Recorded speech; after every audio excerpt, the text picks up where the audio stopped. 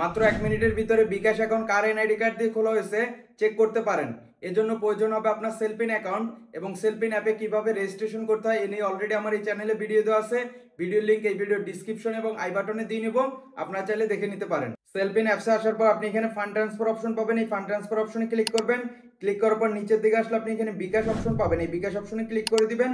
তারপর এখানে আপনি বিকাশ নাম্বারটি দিয়ে নেবেন। আপনি যে বিকাশ নাম্বারের এনআইডি নাম চেক করতে যাচ্ছেন, ওই নাম্বারটি দিয়ে নেক্সট অপশনে ক্লিক করবেন। নেক্সট অপশনে ক্লিক করার সাথে সাথে আপনি এরকম ইন্টারেস্ট পাবেন। এখানে আপনি বিকাশ নাম্বার দেখতে পাচ্ছেন এবং তার নিচে দেখতে পাচ্ছেন রিসিভার নেম এখানে আমার নাম দেখাচ্ছে, যেহেতু আমার এনআইডি কার্ড দিয়ে এই বিকাশ অ্যাকাউন্টটি খোলা, যার কারণে এখানে আমার নাম দেখাচ্ছে। আপনি যে নাম্বার চেক করতে যাচ্ছেন ওই নাম্বারটি উপরে দেখাবে এবং তার এখানে এনআইডি নাম চলে আসবে। নিরাপত্তা জনিত কারণে আমি এগুলো ব্লার করে দিয়েছি, আপনার বিকাশ নাম্বার দিয়ে দেওয়ার পরে রিসিভার নেম অপশন আসলে আপনি এখানে তার নাম দেখতে পারবেন। তো এই মাধ্যমে খুব সহজে আপনি চেক করতে পারেন, আপনার বিকাশ অ্যাকাউন্টটি কার এনআইডি কার্ড দিয়ে খোলা হয়েছে। দেখা হচ্ছে পরবর্তী নতুন অন্য কোনো এক ভিডিওতে ভালো থাকবেন, সুস্থ থাকবেন, আল্লাহ হাফেজ।